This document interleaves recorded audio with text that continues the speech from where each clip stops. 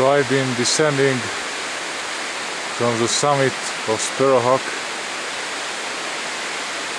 left at 3.40 p.m. and now it's 4.26 46 minutes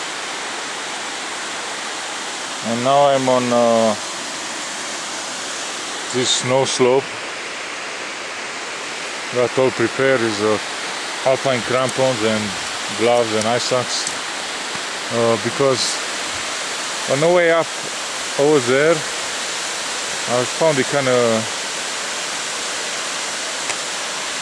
like little rocks act like ball bearings on a, on some uh, slab and I don't like it. Looks like the other another party has descended the same way actually I spoke with them on a, on a call and they told me they will they are they will be going to do this. So uh, I may as well follow their route and uh, I should be at the parking lot in no time